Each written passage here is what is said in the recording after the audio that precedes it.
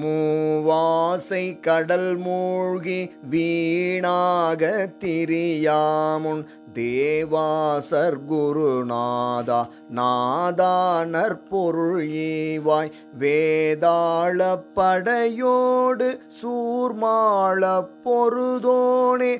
ஆகா